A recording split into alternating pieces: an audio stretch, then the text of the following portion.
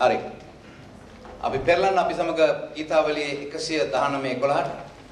ආ අපේ අදහස වචනය කටපාඩම් කිරීමයි. ආ වචනය කටපාඩම් කිරීමයි. දැන් ඔබ ඉස්සෙල්ලාම ඔබ මට කියන්න යන්නේ මම දන්නවා මොකක්ද දන්නවද?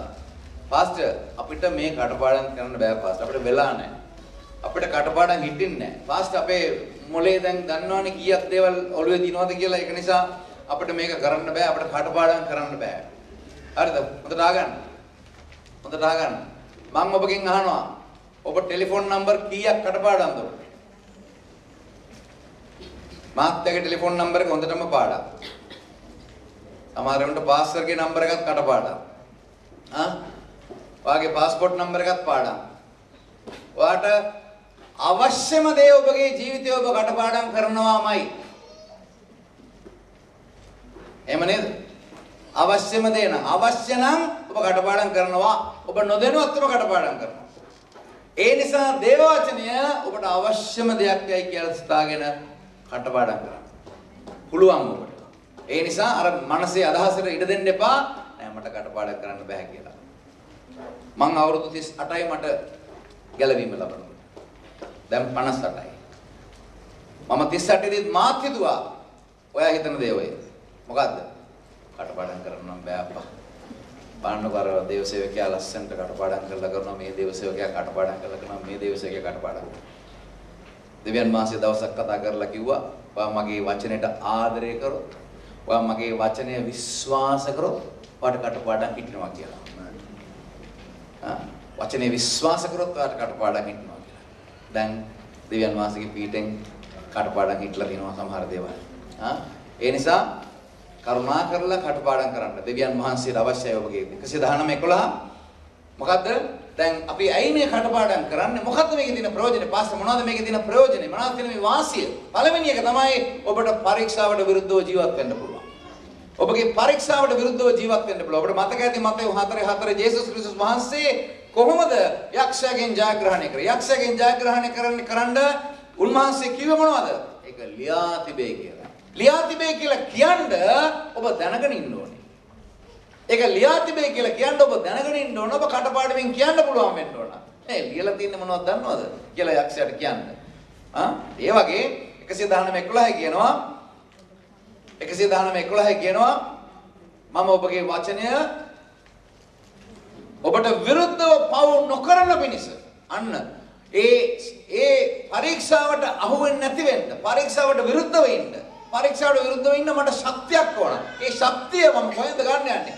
ඒ දේව වචනයෙන් එන අධ්‍යාත්මික ශක්තිය තමයි මාගව තියෙන්න යන්නේ මම කටපාඩම් කරපුවම. ඔබට විරුද්ධව දිව්‍යන් වහන්සේ ඔබට විරුද්ධව පව් නොකරන පිණිස ඔබගේ වචන මාගේ හිතේ නැත්නම් ඇතුළාන්තේ නැත්නම් හදවතේ නැත්නම් ඇතුළාන්තේ මම නිදාන කරගත්තා. ආයේ එන්නේ නැහැ එළියට. ආමෙන් කියන්න. ආ එළියට එන්නේ නැහැ. ඒ නිසා ඔබ කටපාඩම් කරන්න ඕන පළවෙනි හේතුව තමයි ඔබට පරීක්ෂාවට විරුද්ධව ඉන්න පුළුවන්. ඔබට මනසට අදහස් එනවා. හොඳට අහගන්න. ඔබට වැරදි අදහස් එන එක පාපයක් නෙමෙයි. වැරදි අදහස් ගිල ගන්න එපා. වැරදි අදහස් වලට කන්සීව් කියලා කියනවා. පිළිසිඳ ගන්න දෙන්න එපා. දැන් මතකනේ මරියාට මරියා පිළිසිඳ ගත්තා වචනේ. වචනය පිළිසිඳ ගත්තා. ඔබට අදහස පිළිසිඳ ගන්න එපා. මම හිතනවා යාකොබ් පොතේ කියනවා ඒක පිළිසිඳ ගත්තාම තමයි පාපය බවට පත් වෙන්නේ කියලා. ඒක නිසා ඒව ඒකට වෙන්නේ මොනවද එහෙමනම්? ඒකට විරුද්ධව මම කොහොමද ක්‍රියා කරන්න යන්නේ? විරුද්ධව මම දේව වචනය දන්නවා. යක්ෂයා මාව පරීක්ෂා කරන්න එපා මම වලින්. මම දන්නවා මගේ දෙවියන් වහන්සේ මට හැමදේම සපයන්න යනවා. මම පොලියට ගන්න යන්නේ මම දෙවියන් වහන්සේ මට සපයන්නට යනවා. මං ඒ නිසා ඉවසන් ඉන්න යනවා. නෑ මම වැරදි දෙයක් මම හොරකම කරන්න යන්නේ නෑ. දෙවියන් වහන්සේ මගේ හැමදේම සපයන්නට යනවා. ඔබට පුළුවන් වෙනවා කියන්නේ. එතකොට එතකොට තමයි ඔබ පව් නොකර ඉන්නට යන්නේ. ආමෙන් කියන්නේ. දෙවෙනි කාරණාව දෙවෙනි වාසිය මොකද්ද? ගීත් ඒ ඔබට ප්‍රඥාව ඒ තීරණ ගන්න උවමනා කරන ප්‍රඥාව ඔබට ලැබෙන්නට යනවා ඔබ කටපාඩම් කරපම දෙවියන් වහන්සේගේ වචනය. ආ ඔබගේ වචන මාගේ පාදයන්ට පහනක් කියලා කිව්වා. කී දෙනෙක් විශ්වාස කරනවා දෙවියන් වහන්සේගේ වචනය ඔබට පහනක් කියලා. ඔබ හොඳට බලන්න. ඔබට බලන්න ඔබගේ ජීවිතයේ ඔබ මුහුණ දෙන හැම අවස්ථාවකටම අවශ්‍ය කරන උත්තරය බයිබලයේ නැත්නම් දෙවියන් වහන්සේගේ වචනේ තියෙනවා. ඒ හිතෝපදේශ 4 23 22 කියන හැටියට ඔබ ඒක හොයාගත්තොත් ඔබට ජීවනය තියෙනවා. ආමෙන්. ඒක තමයි දෙවියන් වහන්සේගේ වචනය. ඒ නිසා පාදයන්ට පහනක් වෙන්නට යනවා මාගේ මාවතට එලියක් වෙන්නට යනවා. උන්වහන්සේ ඔබට මාවත සමතලා කර දෙන්නට යනවා දෙවියන් වහන්සේගේ වචනය තුළින්. දැන් මිනිස්සු කියනවා ප්‍රඥාව ප්‍රඥාව ප්‍රඥාව කියලා. මොකද්ද ප්‍රඥාව? හොඳම ප්‍රඥාව තියෙන දෙවියන් වහන්සේගේ වචනේ. ඒ වචනේ තමයි ඔබට මාවත. දෙවියන් වහන්සේගේ වචනේ තමයි ඔබට එළිය. දෙවියන් වහන්සේගේ වචනේ තමයි ඔබව මඟ පෙන්වන්නට යන්නේ. ආමෙන් කියන්නේ. හalleluya. ඒ වගේම තුන්වෙනි තුන්වෙනි වාසිය. ඇයි මේ දෙවියන් වහන්සේගේ වචනේ අපි පිළිගන්නට ඕන? 119 අපි ඉන්නේ. අපි දැන් 49ට ආවොත් බලාපොරොත්තු වෙන්න ඔබ මට සැලසූ හේයින් ඔබගේ මෙහෙකරුවාට කී වචනය සිහි කළ මැනව. මාගේ දුකේදී මාගේ සැනසීම නම් මේය. මොකද්ද? මක් නිසාද ඔබගේ වචනය මා ප්‍රාණවත් කළේය. ආමෙන්. එතකොට මාව බලවත් කරන්නේ කවුද? මාව බලවත් කරන්නේ ප්‍රාණවත් කරන්නේ කවුද? දෙවියන් වහන්සේගේ වචනය තමයි මාව ප්‍රාණවත් කරන්නේ. එතකොට ඔබ කටපාඩම් කරනකොට, ඔබ විශ්වාස කරනකොට, ඔබ විශ්වාස කරලා කටපාඩම් කරනකොට, අදහනකොට දෙවියන් වහන්සේගේ වචනය ඔබගේ මුඛයෙන් එළියට එනකොට අර යෝෂුව 1:8 වගේ ධෛර්යමත් වෙන්න කියලා උන්වහන්සේ කිව්වා. මේ වචනයට යන්න දෙන්න එපා කියලා කිව්වා. හැමතිස්සෙම මුඛේ තියෙන්න සලසන්න කියලා කිව්වා. ඒ දෙවියන් වහන්සේ කියපු දේ ඔබ කටපාඩමින් කියනකොට යක්ෂයා විරුද්ධ වෙන්න කියලා කිව්වා යක්ෂයා පලා යනවා කියලා කිව්වා. යක්ෂයාට පලා යන්න පුළුවන් වෙන්න ඔබට පුළුවන් වෙනවා. ඒකට හේතුව ඔබ බලවත් කරනවා දෙවියන් වහන්සේ. ඔබගේ ඇතුළාන්ත මනුෂ්‍යව බලවත් කරන්නේ දෙවියන් වහන්සේගේ වචනය. හතරවෙනි කාරණාව උන්වහන්සේ ඔබට සැනසුම ගෙන දෙන්න යනවා. සැනසුම ගෙන දෙන්න යනවා. දැන් යර්මියා කියනවා ඔබගේ වචන සම්භව වූ විට මම ඒවා කෑවෙමි කියලා. හalleluya. මම කෑවා. බලන් ඉන්නවා. ආපුවම රැස්වීමකට ආපුවම සිකුරාදා දවසකට ආපුවම බයිබල් පන්තියකට ආපුවම මේ වගේ රැස්වීමකට ආපුවම බලන් ඉන්නේ මොනවද? දේවයන් වහන්සේගේ පණිවිඩය එනවා මම මේ ඛණ්ඩ යනවා. ආ උන්වහන්සේ කිව්වා මගේ මුතුන් මිත්තන් මැරුණා මේව මරණ කාලා. නමුත් ඔබගේ මරණ කාපුවම මම ජීවත් වෙන්නට යනවා කිව්වා. ආමෙන්. ඔබගේ වචන මට ප්‍රීතියක් සහ සතුට. ප්‍රීතියක් සහ සිතට සතුටක් වෙන. මේ වචනය තමයි ඔබට සතුටක් වෙන්න යන්නේ. එතකොට ඔබ දේව වචනය මෙනෙහි කර කර දේව වචනය කඩපාඩම් කර කර ඉන්නකොට තමයි ඔබට නොදැනුවත්ව මේ සතුට පැමිණෙන්න යනවා. ඒ ගංගාවක් වගේ සමාදානය ඔබට ලැබෙන්නට යනවා. කිසි මනසකට තේරුම් ගන්න බැරි සමාදානයක් ඔබට එන්න යනවා. කිසි මොකයකට ප්‍රකාශ කරන්න බැරි ප්‍රීතියක් ඔබට එන්නට යනවා. දෙවියන් වහන්සේගේ වචනය කටපාඩම් කිරීමෙන්. ආමෙන්. හalleluya. එතකොට පස්වෙනි එක ඔබට පුළුවන් වෙනවා සාක්ෂිකාරයෙක් වෙන්න හොඳට. මොකද බයිබලයේ කියනවා නමුත් නොබලාගේ සිත් වලින් ස්වාමින් වහන්සේ කොට ක්‍රිස්තුස් වහන්සේට ගෞරව කරපල්ලා. නුඹලා තුල ඇත්තා වූ බලාපොරොත්තුව ගැන නුඹලාගෙන් අසන සියල්ලන්ට උත්තර දෙන්න නිතර සෑදී සිටපළ නැත්නම් පිළියෙල වී සිටපල්ලා. එතකොට ඔබට කේම් ට්‍රේඩින් එකේදී කවුරු හරි ඇහුවොත් ඇයි ඔයා මේ ජේසුස් වහන්සේ පිළිගත්තේ? අනේ මට නම් කිසිම පැහැදීමක් නැහැ. ඔයා මොකටද මේ ජේසුස් වහන්සේ පිළිගත්තේ කියපුවම ඔබගේ කටේ තොල්වල කෙරවල තියෙන්න ඕන මේ සාක්ෂිය. සාක්ෂිය විතරක් නෙමෙයි ඔබගේ දෙවියන් වහන්සේගේ ගුණාංග දෙවියන් වහන්සේ ඔබට කරපු දේ දෙවියන් වහන්සේ කරපු ඔබට යහපත් දේ ඔබගේ ජීවිතය පරිවර්තනය වුණේ කොහොමද? ඒ හැමදේම ඔබට පුළුවන් වෙන්න ඕන කියන්න කියන්න පුළුවන් වෙන්න නම් මොකද්ද වෙන්න ඕන? මම වචනය කටපාඩම් කරලා තියෙන්න ඕන. මම වචනයෙන් පිරීලා ඉන්න ඕන. මගේ සිත වචනයෙන් පිරුණාම තමයි මගේ මුඛයෙන් කතා කරන්නේ. ඒ නිසා මම කටපාඩම් කරන්න ඕනේ. නංගින්න එක්කනට අත් දීලා කියන්න මම කටපාඩම් කරන්න ඕනේ.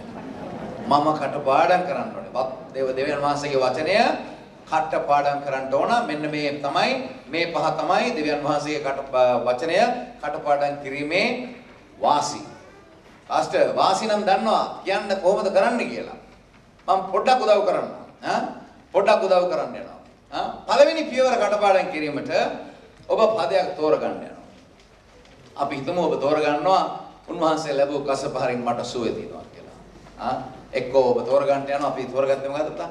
මතෙව් 7:24 දුකද? මතෙව් 7:24 ගන්න බලන්න.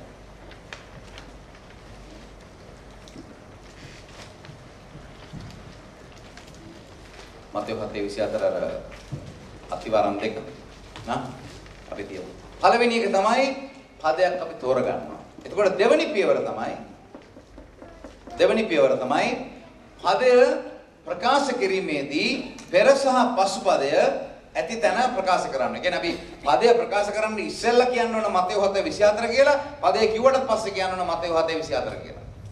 පොඩක් පෙරලා ගන්න බයිබලෙට මතේ 7:24. දැන් ඕක බලමු අපි කටපාඩම් කරමු මෙතනදී. මෙතනදීම කටපාඩම්. යමෙක් මාගේ එහෙයින් යමෙක් මාගේ මේ වචන අසා ඒවා පිළිපදීද. ඔහු පර්වතය පිට තමාගේ ගිය සාදාගත් නුවණැති මිනිසෙකුට සමාන කරනු ලබන්නේය 24 එච්චරයි. ආ 24 විතරක් අපි පාඩම් කරමු මේ වෙලාවේ. ආ ආයෙ කියමු. එහෙයින් යමෙක් මාගේ වචන අසා ඒවා පිළිපදීද ඔහු පර්වතය පිට තමාගේ ගෙය සාදාගත් නුවණැති මිනිසෙකුට සමාන කරනු ලබන්නේ. ආයෙත් කියවන්න. එහෙයින් යමෙක් මාගේ මේ වචන අසා ඒවා පිළිපදීද ඔහු පර්වතය පිට තමාගේ ගෙය සාදාගත් නුවණැති මිනිසෙකුට සමාන කරනු ලබන්නේ. දැන් අපි කියවන්න කියලා කරන්න කියලා කිව්වේ දෙවෙනි පියවර මොකක්ද දන්නවද? මතෙව් 7:24 කියලා මේ වචනේ කියලා ආයෙත් මතෙව් 7:24 කියන්නේ. කියන්න මා සමග. මතෙව් 7 වෙනි පරිච්ඡේදයේ 24 එහෙයින් යමෙක් මාගේ මේ වචන අසා ඒවා පිළිපදීද ඔහු පර්වතය පිට තමාගේ ගේ සාදාගත් නොනැති මිනිසෙකුට සමාන කරනු ලබන්නේය මතෙව් 7 වෙනි පරිච්ඡේදයේ 24 ආ තේරුණාද ඒක තමයි දෙවෙනි පියවර තුන්වෙනි පියවර ඒ පදය කීප වතාවක්ම ශබ්ද නගා ප්‍රකාශ කරන්න දැන් අපි කරා වගේ. ආ මතේ 7:24 දාලා වචනයත් කියලා ඊට පස්සේ ආයෙත් මතේ 7:24 කියනවා. හතරවෙනි පියවර වෙන්නේ ඒ සරල සහ තේරුම් ගත හැකි කොටස් වලට වෙන් කරනවා. ඔබ දන්නවද? ඔබ පොඩ පොඩි පොඩි දරුවෙකුට ඔබ කන්න දෙනකොට ආ තාම බත් කාලා නැති ළමයෙකුට කන්න දෙනකොට ඉස්සෙල්ලාම කන්න දෙනකොට ඔබ එකපාරට ගුලි ගිලවන්නේ නැහනේ. ඔබ ගෙලවන්නේ පොඩ පොඩ. ඒ වගේ දැන් ඔබ කඩන්න මේ වචනේ. බයිබලයේ තියෙන තියෙන අය ඔබට පුළුවන් ඔබේ පැන්සලක් වගේ එකක් අරගෙන පෑනෙන් ඕනනම් කරන්න පුළුවන්. ඒ මගෙන් තේරෙන තැන් වලින් ඔබ කඩන්න බලන්න. මතෙව් 7:24 එයින් යමෙක් මා යමෙක් හරි එතන එතෙන් කඩන්න පුළුවන් ඔබට ඕන ආ එයින් යමෙක් කියන එකෙන් ඔබට කඩන්න පුළුවන්. පොඩක් මෙහෙම ඉරක් ගා ගන්න හරහාට. මොකද ඒකට කියන්නේ ස්ලෑෂ් එකක් නැත්තම් මොකද ඒකට කියන්නේ සිංහලෙන්. සිංහල නෑ මේ සිංහල නෑ අපේ ඉංග්‍රීසි විතරයි තියෙන්නේ. මේම කරලා වෙන් කරගන්න. යම් එහෙයින් යමෙක් ආ මාගේ මේ වචන අසා කියලා එතෙන් නවත්තන්න. ආ ඒවා පිළිපදීද කියලා නවත්තන්න. කමාවලට කොහොමත් නවත්තන්න ඕන බෑ. ආ කමාවක් තියෙනකොට බයිබලේ ඒවා කොහොමත් නවත්තන්න ඕන. එතකොට මේමයි පටන් ගන්න ආයි. එහෙයින් යමෙක් මාගේ මේ වචන අසා ඒවා පිළිපදීද ඔහු පර්වතය පිට කියලා ඕනනම් කතරින් කඩන්න පුළුවන් වාට ඕන විදිහට කඩා ගන්න. පර්වතය පිට තමාගේ ගිය සාදාගත් නොනැති මිනිසෙකුට කියලා ආයෙ දා වෙන් කරලා සමාන කරනු ලබන්නේ. ඉතින් මේක හතකට හරි අටකට හරි කඩා ගන්න ඕක.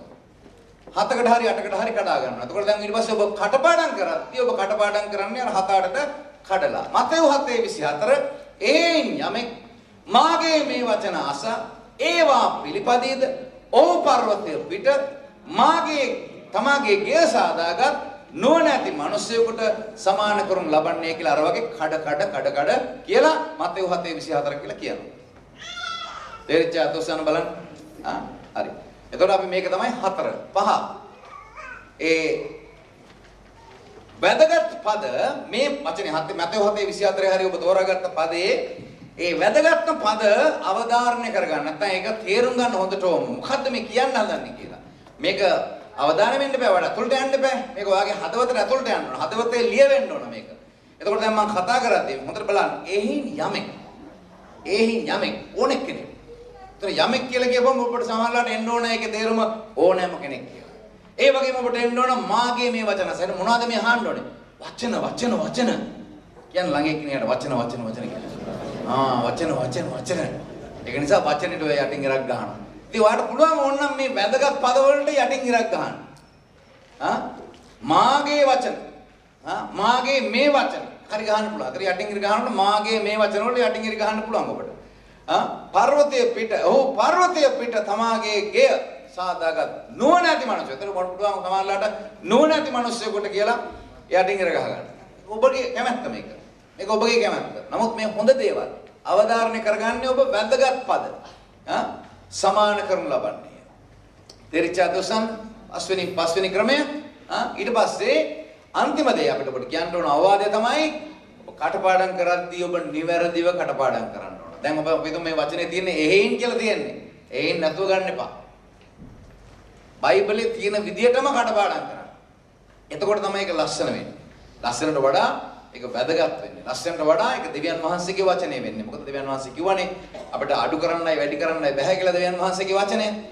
තේරුම් ගන්නකොට ඔබට අඩු කරලා තේරුම් ගන්න පුළුවන්. නමුත් ඔබ කතා කරද්දී ඔබ කාට හරි ප්‍රකාශ කරනවා නම් එක්ක විශේෂයෙන්ම ඔබ දේශනා කරද්දී ප්‍රකාශ කරනවා නම් ඔබ දේව වචනය බයිබලයේ තියෙන විදිහටම ප්‍රකාශ කරන්න ඕන. එතකොට මතෙව් 7:24 එයින් යමෙක් මාගේ මේ වචන අසා ඒවා පිළිපදීද ඔහු පර්වතය පිට තමාගේ ගේ සාදාගත් නුවණැති මිනිසෙකුට සමාන කරනු ලබන්නේ.